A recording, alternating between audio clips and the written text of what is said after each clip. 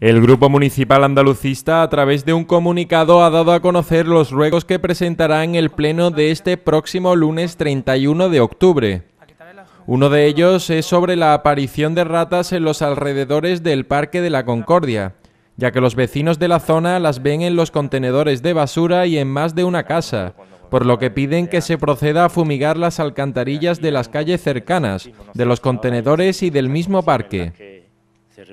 sobre el estado del acerado de la calle Huerta Gavira y la calzada de la calle Canónigo Álvarez Talaverón, después del enfado de los vecinos, ya que este ruego se llevó a pleno meses atrás y no se ha actuado en la zona. Por ello se ruega que se informe del método de elegir las calles que entran en los planes de empleo y que sean tenidas en cuenta para su arreglo.